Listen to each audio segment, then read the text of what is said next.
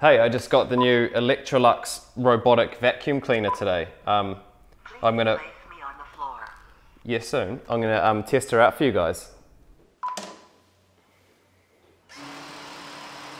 All right, he just takes off. Okay, um, I've got this app though that I'm supposed to be able to control. Oh, go that way. Okay, go the opposite way. That's another good option. He's got himself stuck in the stool legs now. Just go out the way you came in. He can't remember. What's nudging the window gonna do? Stop nudging it. Go this way. Why are you following me? He's like a needy pet. There's a dead fly here. You just skimmed straight over him. Yeah, just get him. Oh, cheers. Don't just run away. Stop just pirouetting. You're just mucking around. This has been a real time saver.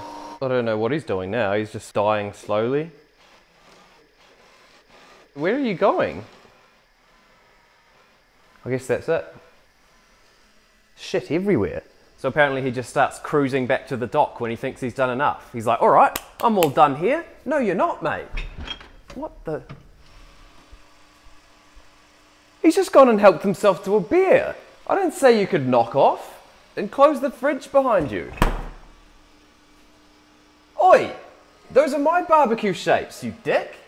This guy's taking the piss. Cheers for your help. There it is, the Electrolux robotic vacuum cleaner. Super convenient. There's nothing even in there.